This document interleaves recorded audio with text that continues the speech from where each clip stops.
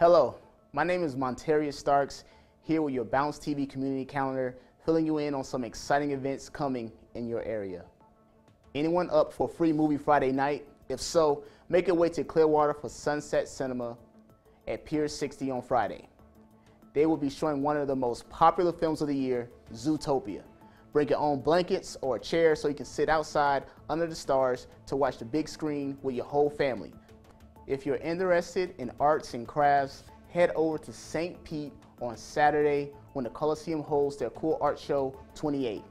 Hosted by Professional Association of Visual Arts, this free event hosts amazing works of art from 75 local and statewide artists specializing in paint, wood, ceramics, photography, metal, glass, mixed media, and jewelry. Doors open at 10 a.m. and will stay open until 5 o'clock p.m. Finally, on Sunday, Hillsborough Community College is holding a bike ride through Davis Islands.